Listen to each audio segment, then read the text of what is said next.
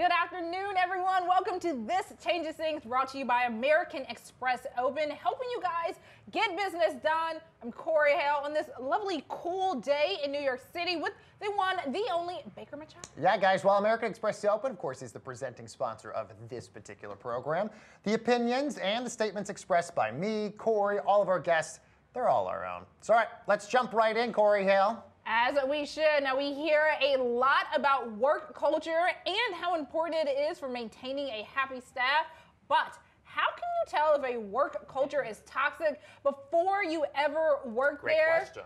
Something a lot of people want to know. Joining us now with some insight on this exact topic is Jared Lindzon, writer for Fast Company. Jared, thanks so much for joining us today. Greatly appreciated. I know a lot of people, when they're trying to get into a new company, I mean, obviously they want to get a job, but you also want to make sure you're not getting a job at a company where your personal morals and values don't align with the company culture. So some what are some of the ways you can spot a toxic work culture very early on in the interview process?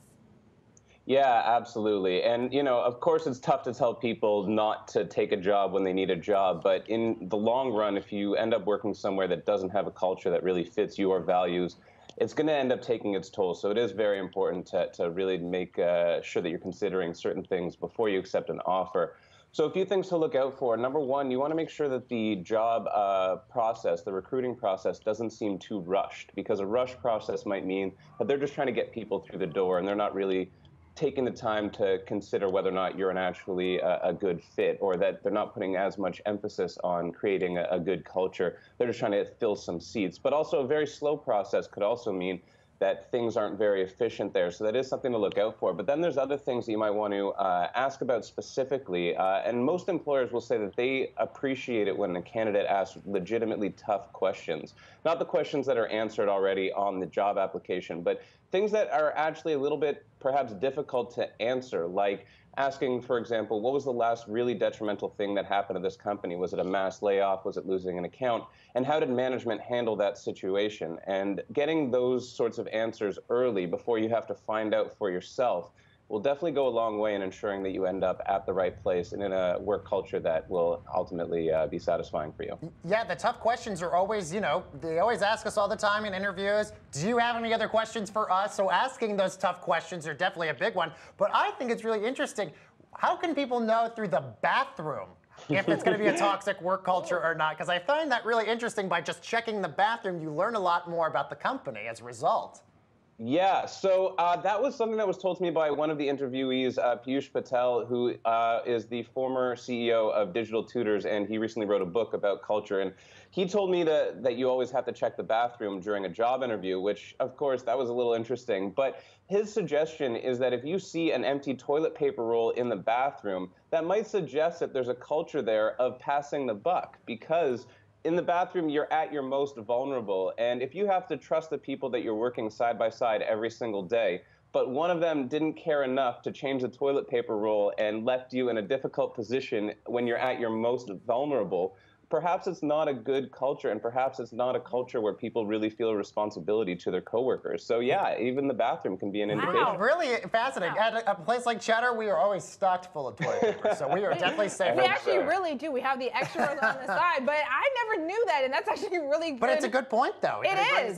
Passing the buck because they didn't refill the toilet paper. All right, Jared, what are some of the biggest traps you've seen people perhaps fall into when it comes to workplace culture?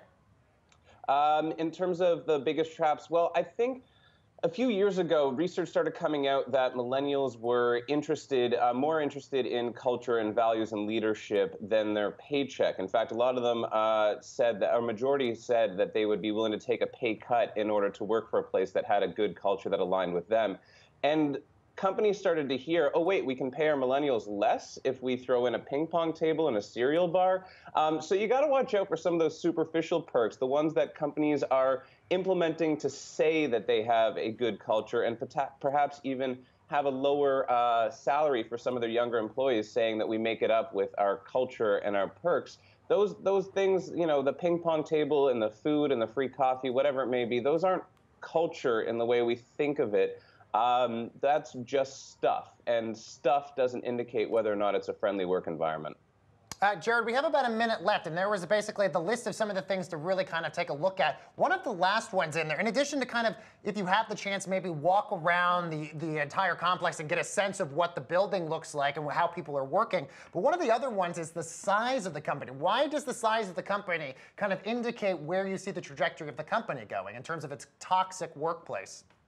Absolutely. Well, for there, it's not so much worrying about a toxic culture, but more so finding a cultural fit. And everybody works in different environments differently. Uh, some people know that they work better in an open concept office. Others would prefer to have their own cubicle or office space. Some prefer a really big organization uh, where they feel like they can make an impact. Others prefer a small company where they can feel like they're they're part of something like a, a little family. So it's it's uh, some of it is knowing the company, but some of it is actually just knowing yourself, knowing what environment uh, will help you thrive and, and get the best work uh, out of you because this is a long term commitment. You want to make sure that you're going somewhere that'll really let you uh, grow your career in a meaningful way. Well, thank you so much, Jared, for joining us. And now everybody during their interviews are checking the bathrooms. well, now, you know what Absolutely. I was thinking, Baker? I'm not just checking it. Well, I already know how the bathrooms are at Cheddar and they're fully stocked. But now when I go to other places, like, I'm I don't know, like checking. Always Starbucks or something, like now I got to check the bathroom and figure out what is going on at that company. Good investigative work, Jared. Of course, he's a writer Thank over you. at Fast Company. Coming up, guys, on This Changes Things, the startup that's disrupting the billion dollar tux rental industry.